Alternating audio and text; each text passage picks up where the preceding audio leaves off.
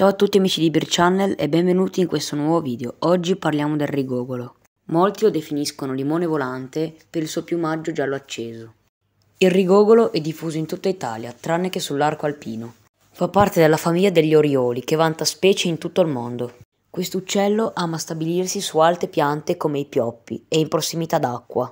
Predilige anche i frutteti e le foreste di querce. Il maschio in questa immagine è quello sotto e come possiamo vedere è ben differente dalla femmina, infatti ha un piumaggio molto più acceso e colorato.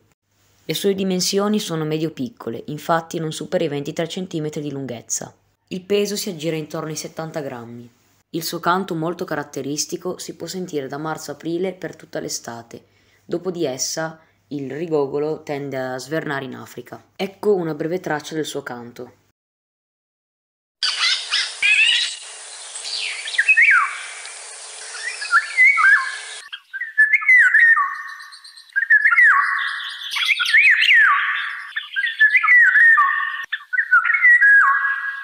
Come potete sentire, canto molto facile da riconoscere. Se vi interessa ho pubblicato anche una traccia del suo canto sul mio canale YouTube e se vi interessa andatevela a vedere. Nonostante i suoi colori sgargianti, è un uccello abbastanza complicato da vedere, in quanto trascorre le sue giornate nella fitta vegetazione e di rado scende dagli alberi. Le uniche occasioni in cui scende possono essere per fare dei bagni o bere. Come possiamo immaginare, la femmina è ancora più difficile da vedere in quanto ha proprio dei colori più mimetici del maschio. A volte capita di vederli di passaggio, ma hanno dei voli molto veloci e corti.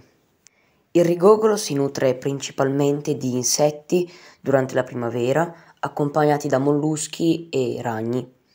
D'estate, quando i primi frutti maturano, il rigogolo si sposta nei frutteti, in quanto la sua dieta diventa principalmente frugivora. A inizio autunno, invece, predilige fichi e alcune bacche che maturano in quel periodo. Ma ora parliamo della sua riproduzione. La stagione riproduttiva si apre con diversi inseguimenti fra i sessi, che danno poi origine alle coppie. I primi nidi vengono costruiti tra maggio e giugno. Il nido viene costruito in alto, circa 20 metri, lontano dal tronco principale e soprattutto in un punto in cui la vegetazione riesce a coprirlo bene. Viene costruito su una forcella in modo tale che sia una sorta di amaca. Solo la femmina partecipa alla costruzione e il maschio si limita a osservarla mentre canta. Le uova deposte sono solitamente dalle 3 alle 4 e hanno un colore bianco. L'incubazione è completamente affidata alla femmina, mentre il maschio comunque fa la guardia.